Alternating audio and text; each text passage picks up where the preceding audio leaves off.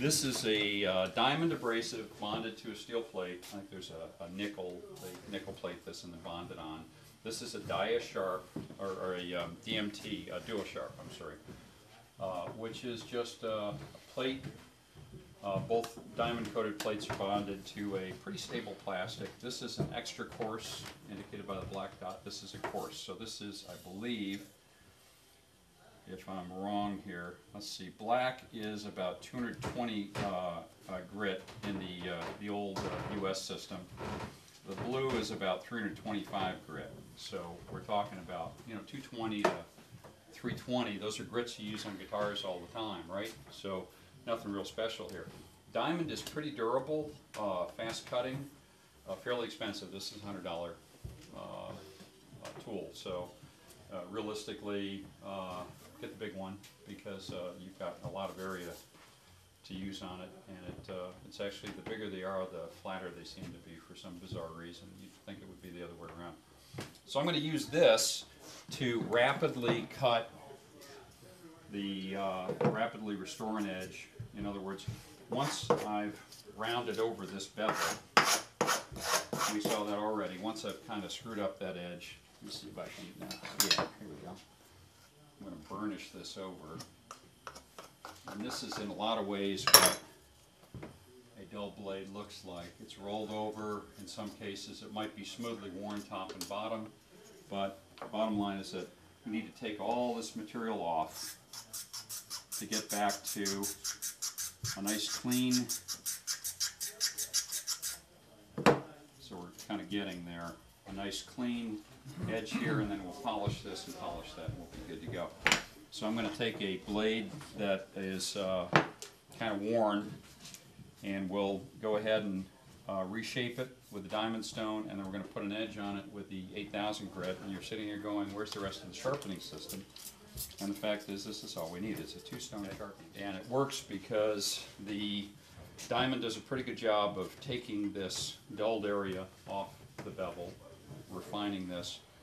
And the Norton 8000 grit stone uh, is just an incredible um, uh, stone. It, it really is uh, very uniform, very fast cutting, uh, leaves very little in the way of scratches. You can uh, take a blade that uh, fresh off this diamond stone, which is fairly coarse, put it on here, and it will cut fast enough so that you don't have to go through all the intermediate grits. It's, it's a real good system. Now, I just noticed that I hadn't flattened this stone out. Water stones need to be flattened, right? Isn't that a terrible, you know, it takes all this time to do and everything else? Well, we use diamond stone. I'm just gonna go ahead and rub them together in the bucket. And if you notice, the low spots are dark. The uh, spots that I just cut with the diamond stone, which is flat, are, are a little bit lighter color. And tell you what, I'm even gonna go to the coarse stone here. There we go, and now see, we're close to flat here. There we go. Okay, I'll just go ahead and rinse it off a little bit, and you can see how long it took to flatten a stone. So there's, honestly, there's no excuse not to do a good job of flattening your water stones. The Nortons are nice because they don't have to use this, uh, this guide, and this time it's a uh, plane blade, so it's going to actually be about 38 millimeter. And we're on. Okay, now right now there's no burr on the back of that that blade. In other words, this edge is a little bit rounded over. We've got to cut past that to get a uh, edge that we can rapidly hone. And actually, I'll flip this over and I'll save myself a little bit of polishing time by using the, the coarse surface. Okay, not quite a burr yet. Now, of course, this is a plane blade, and uh, the one thing I had problems with when I started using a plane was that uh, oftentimes I would find that I left little tracks on, on wood when the edge of the plane would kind of track along and, and cut it square. Anybody else that get plane tracks in their wood? Scratches, sure. Scratches. So caused by these sharp edges here. So I started out, I, I dubbed the edge over and that kind of worked, but it didn't really work very well. Well, what I've done for the last 20 years is I do sort of a differential sharpening. What I'm gonna do is to get just a slight curve in the blade.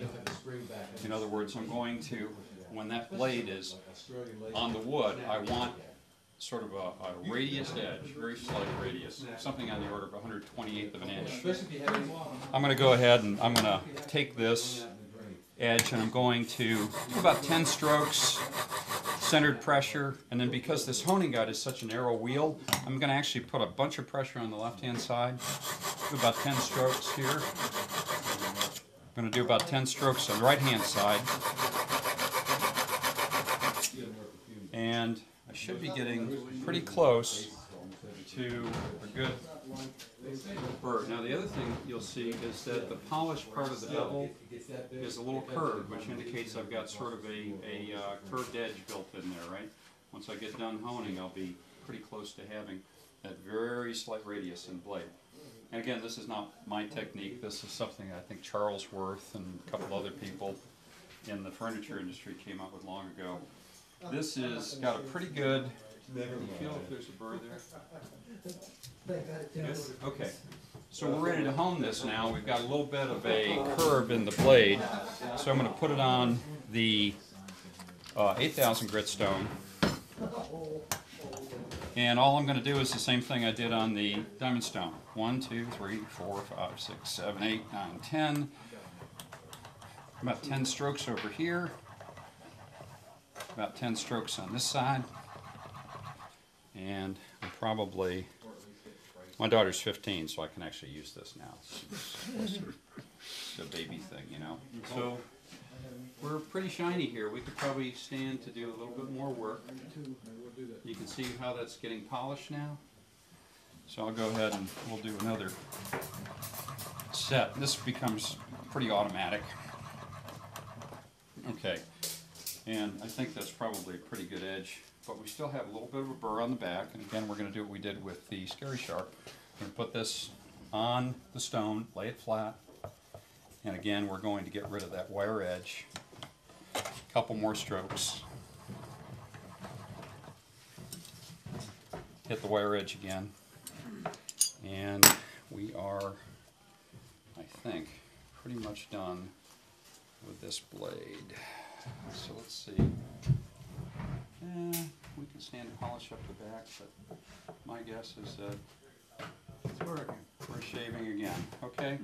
Not great, we could probably take a little bit more time and get a better edge on that. I could probably stand and polish out that one corner. I corner. always wondered why Todd never has forearm here. Me and, for me, it's leg hair. We've a sharp plane, we've got a reasonably sharp chisel, I'm gonna have to go ahead and adjust that blade back a little bit. And just about there. But that's a fairly sharp plane.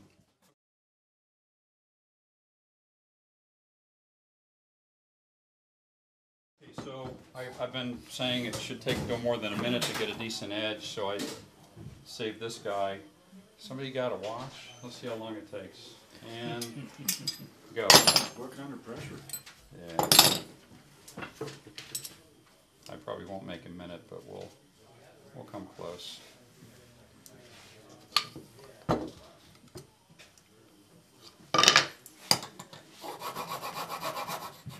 That shifted. Remember I said make it tight?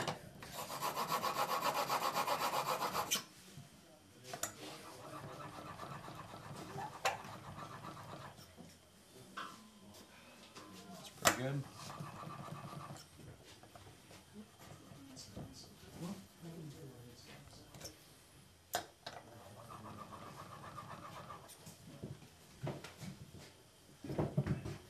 And we're done.